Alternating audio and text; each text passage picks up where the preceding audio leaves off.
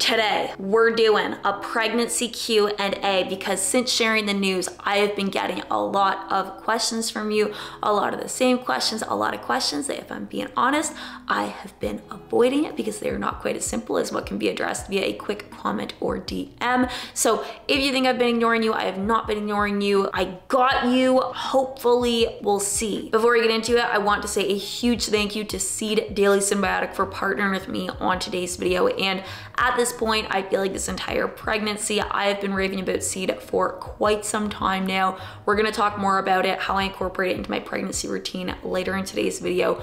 For now though, I will put a link in the description box down below, as well as a code to save 15% off your first month supply. How did I really feel finding out I was pregnant at six months? I am a type A person. I like knowing what is going to happen, when it's going to happen, and I work very hard to plan many aspects of my life so that I can know these things. I can have a sense of control. I do not let life take the wheel when things are messy. It is stressful for me and as I realized through this experience, can also sometimes feel shameful for me. So to be perfectly honest, when I found out I was pregnant, it was overwhelming. This is gonna sound weird, you can hate it if you want, but I've never been pregnant before, so it's the only frame of reference I had. When I got my first dog, like not a family dog, but an adult dog, a little creature I had to be responsible for. I knew I wanted this dog. I loved this dog from the moment I saw him, but on that car ride home, the insecurities started to creep. Can I do this? Am I ready? Do I need someone to give permission to me? It wasn't a question of whether or not I wanted this sweet little bean,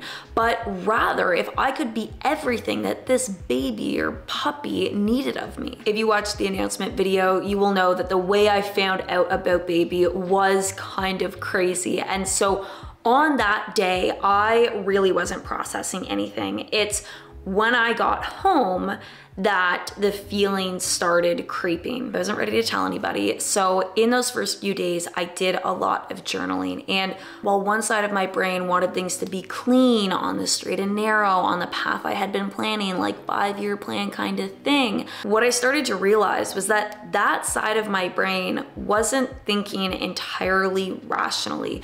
And I was putting so much energy into resisting the love that I already had for this baby for fear of looking messy or how other people may perceive me or underestimate me or how this hypercritical part of my brain would perceive me or underestimate me. So once I realized that, it really came down to, you know, you've got two options. You can either sit and stay stuck with these feelings and keep spiraling for the rest of this pregnancy and not show up as the person or the mother that you want to be. Or I could acknowledge that what I'm feeling is messy. These are big feelings and they are going to feel intense. They're going to feel overwhelming. They're sometimes going to feel opposing, but I can take that energy and use it to fuel stepping into a better version of me, a version of me that is not afraid when life does not allow for very careful and meticulous planning, a version of me that is okay if life's path sometimes accelerates in a direction that I maybe wasn't seeing. Part of adulting is realizing that there is nobody who can give you permission. It is only you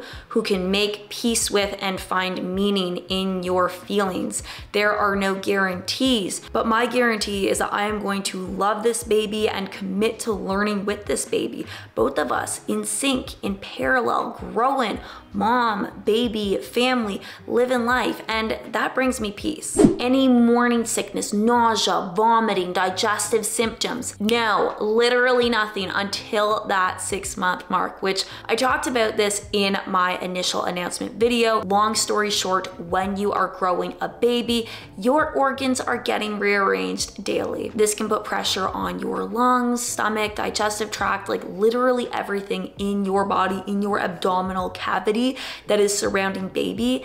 And depending how baby is positioned, this can result in some pretty intense digestive symptoms like constipation. Which fun fact, during pregnancy, not only is baby putting pressure on your digestive tract, which can kind of like block certain things or make it difficult for things to move smoothly, but there also are changes that occur with your digestion that result in a slower transit time. So your body's actually moving food along your digestive tract more slowly so that it can extract as many nutrients as possible from what you're eating. So it's like a double whammy for not being able to poo regularly. The standard advice if you go on any pregnancy site, and you're like, I'm constipated, help me, is just eat more fiber, have a little extra water. Well, the problem is if you go cranking up your fiber content, it is just going to further these symptoms because fiber does slow down your digestion as well.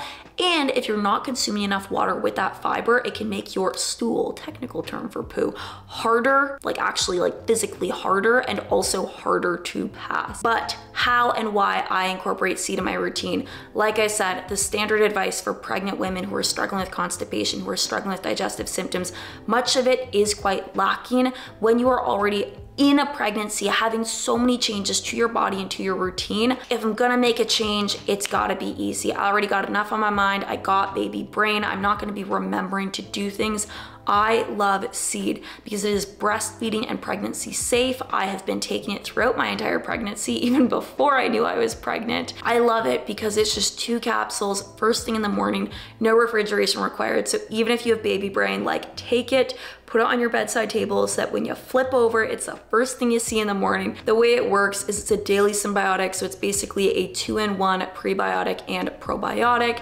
and it's designed to have total body benefits, but especially if you're experiencing digestive symptoms, it can help with the ease of bloating, help keep you regular, ease constipation. It's also gonna help support your cardiovascular health, immune function, and the list goes on. One benefit that I find really interesting for pregnancy is it can actually help with micronutrient synthesis. So again, ensuring that you're getting as much nutrition as possible from your food for you and baby help things move more smoothly because it just sucks when you're not pooping. So if you wanna check out Seed for yourself, I will put that link in the description box down below, as well as a code to save 15% off your first month supply. Little location change, just finished up my workout, but we got a few more questions to bang out, so let's go. Before you knew, did you ever feel baby move and think, what the heck is that? Did I essentially feel baby's kicks before I learned about baby? No, I have IBSD. I feel like every video I've made recently recently I'm like reintroducing myself to a support group. Hi, my name's Abby. I have IBS. IBS stands for Irritable Bowel Syndrome. The dash D means that my symptoms tend more toward diarrhea. So the way that I explain this to people who don't have IBS or who maybe don't know someone who does, think of the last time that you had food poisoning. This is at least in the case of IBSD, and you barely made it to the toilet. It's like your butt touches the seat and the floor drops out from under you. It's like from the top top to the bottom, there's that wave in your stomach. Sometimes there's little twinges, little twangs, little cramps, little gas bubble passing through. It is not enjoyable. It is like you are being attacked from the inside out. Now, of course, and thank goodness my symptoms aren't always that extreme, but this does explain how I could have missed some of the fluttering that comes in early pregnancy as these feelings were not unusual for me. Did you really not question having a missing period for six months? Never have I had so many people interested in my menstrual cycle. I am flattered. I'm glad you guys want to know, but no. I explained this more in the original announcement video, which I will link down below, but over the course of my life, maybe this is kind of embarrassing, I have only ever had a few natural and regular periods. I was prescribed hormonal birth control, like the pill, when I was in my early teens, uh, probably within about a year of my period starting, because I had very, very intense periods, terrible, debilitating cramping, like every PMS symptom.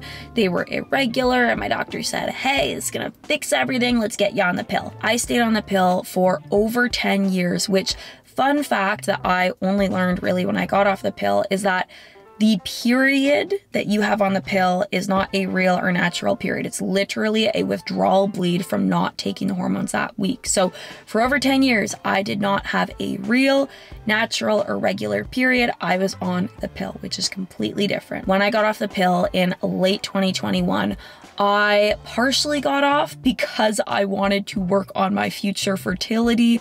I anticipated, given that I had a history of irregular periods, a history of very severe periods, likely hormonal imbalance from that being my starting point, but also like years of fitness extremes, I thought I would need quite a while to regulate my hormones to get things back on track, I thought that fertility would definitely be a struggle for me. So I was over the moon when the first month off the pill, I got a period. I had like what felt like not a symptom list, but like a normal period. Following that, I had a few normal periods, no crazy PMS, no crazy cramping, like they came relatively on time.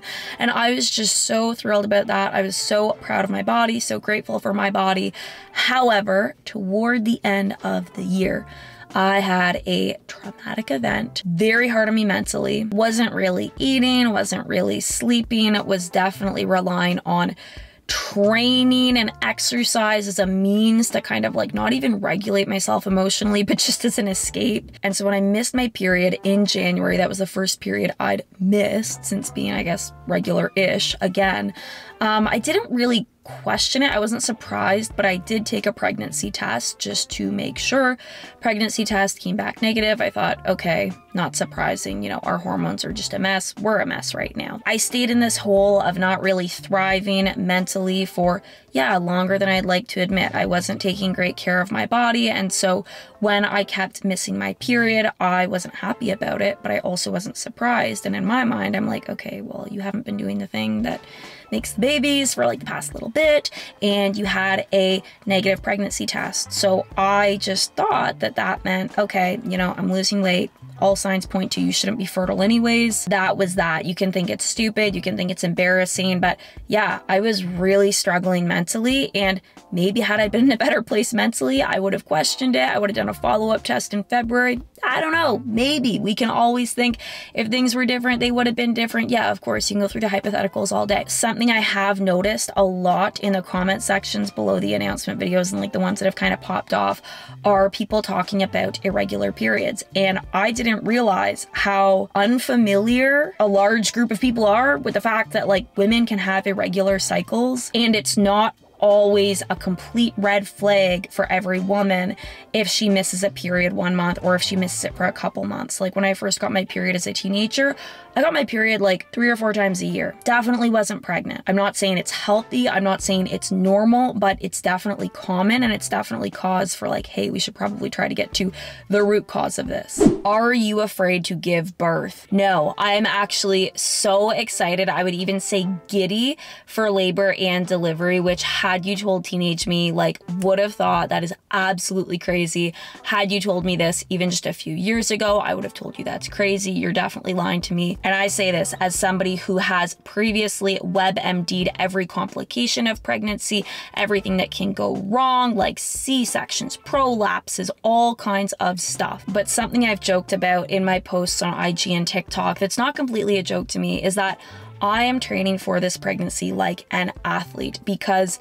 the more I read, even some of those kind of fear mongering things about pregnancy, I realized that through education about your body and awareness about how things work, there is actually so much more than you realize that is within your control. There are so many things that you can do that should help improve or that can help improve your labor and delivery outcomes, making for an easier labor, quicker delivery, like faster recovery, all that jazz. Plus, selfishly, and I never thought I would think of it this way, but now that I am pregnant, I have really enjoyed pregnancy more than I ever thought I would. This has been completely different from what I imagined. This is actually the most feminine and empowered I've ever felt in my body, which is just wild to me. And I am only going to get to experience this a few times in my life.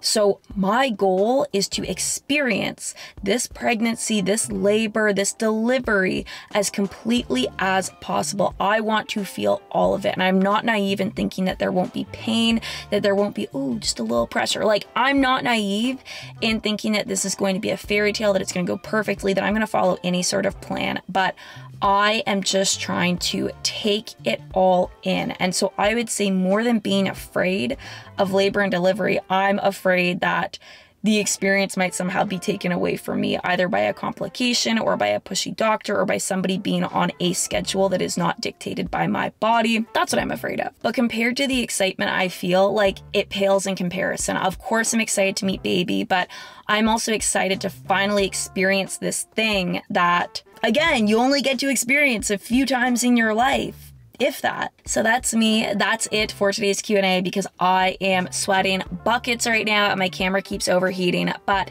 I do hope you enjoyed this video. Like I said, I have this pregnancy has been so different in so many ways than what I ever imagined. And I have genuinely been happy. This is the calmest, the happiest, the most optimistic I have felt mentally in a long time. This is the most feminine and empowered I've felt in my body. So if you're seeing that coming through online, like the glow is not just from the hormones, like I'm I'm really feeling it. I'm really happy and I'm just so glad that I can share this journey with our community. So before I go, quick reminder, if you want to check out Seed, the daily synbiotic I take that's breastfeeding and pregnancy safe, I will put a link in the description box down below, as well as a code to save on your first month supply.